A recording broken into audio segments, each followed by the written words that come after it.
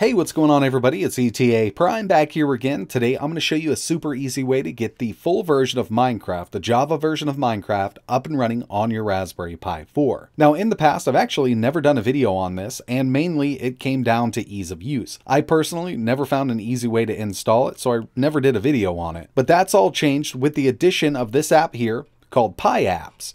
And this is actually by BotSpot I recently did a video on installing Zoom and we used PiKiss to do that, and in the comments section I had a few people mention this application here. And basically, it's an awesome Raspberry Pi app store for open source projects, and it works really well, and there's lots of great stuff in here, and it's super easy to install. So in order to get this installed, we got to do two lines in terminal. I mean, it's super easy. I will leave a link to the GitHub in the description. This is the Pi Apps or BotSpot GitHub. First up, we're going to clone this. We can just copy this and paste it right into our terminal. You can open up terminal from up here or press Control Alt T on your keyboard. You will need to be online for all of this to work. So we've cloned Pi Apps. Now we need to run the install. Home, Pi, Pi Apps, install. YAD is required, but it's not installed. Do we want to install it now? Yes, we do. So choose yes here. It's going to get everything up and going for us, and it's pretty quick.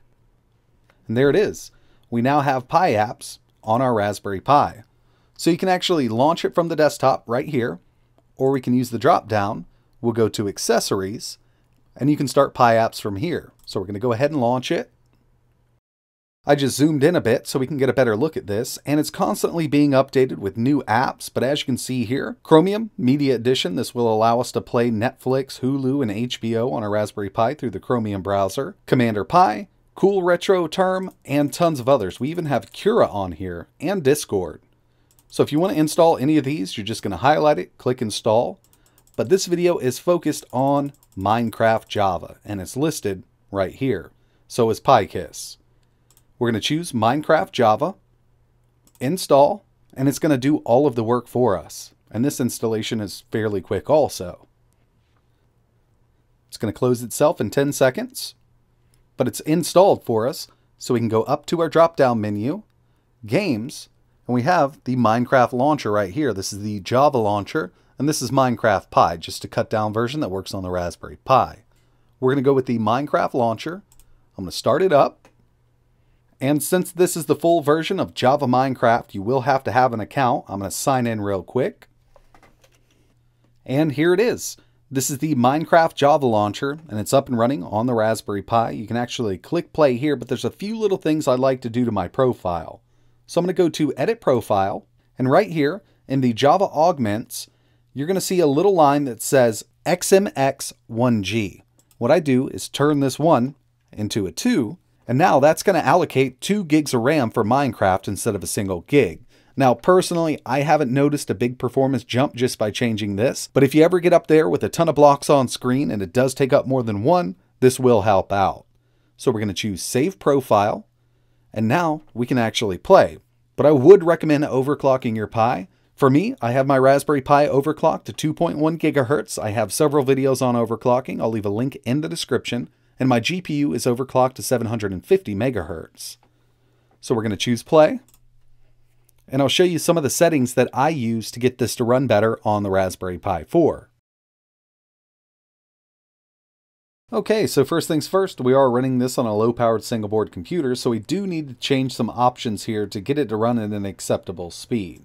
We're going to go to Options, Video Settings. I turn Biome Blend to the fastest, Graphics to fast, Smooth Lighting off, and basically anything else that will affect performance. So Entity Shadows is set to off, particles are decreased, clouds are off, and uh, yeah, that's about it. I mean, you can experiment with this, but when you do start playing, I would recommend going full screen with it, and you can set your full screen resolution up here. I usually go 720 to 480. Even with this overclock, we're still only going to hit about 40 to 50 FPS. Unfortunately, if I do go full screen with it right now, my whole game capture setup messes up on me. So just give me a second here and I'll recoup.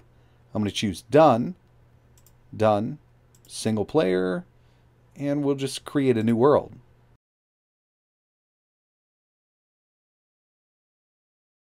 Alright, so now we're into gameplay. If you press F3 on your keyboard, it'll bring up everything. And as you can see, this is running really slow. Up in the top left-hand corner, we're at about 6 FPS, but I'm going to set this up for full screen.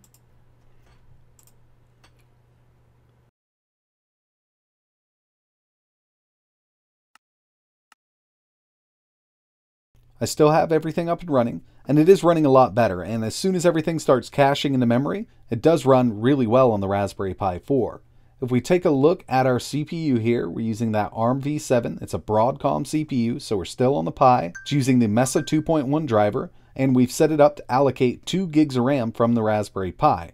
Everything's listed on screen now. And uh, yeah, I mean, I'd say this is playable.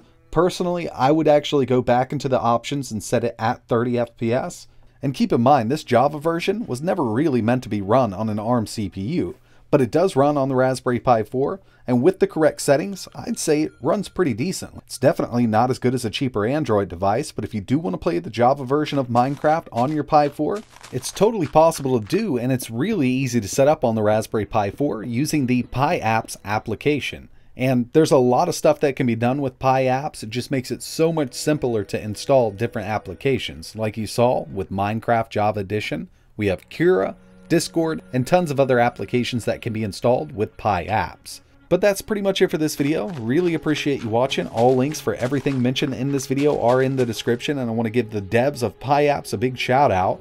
If you don't want to get Minecraft Java Edition installed, at least try Pi apps for a different application that you might use on your Pi 4. If you have any questions, let me know in the comments below.